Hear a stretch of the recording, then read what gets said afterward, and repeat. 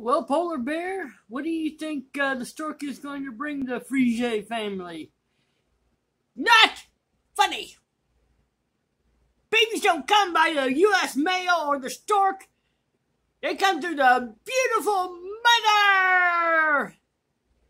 Well, I guess uh, you've already had the birds and bee- bees discussion. Uh huh.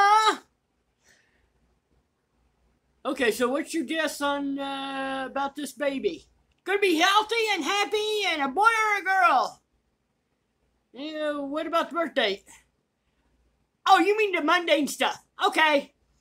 July 21, 21, 19 inches, 7 pounds, 6 ounces, and we donate in this entry to Dana Reed. That's very generous to you, Polar Bear. Have a good day! мим мим мим мим мим мим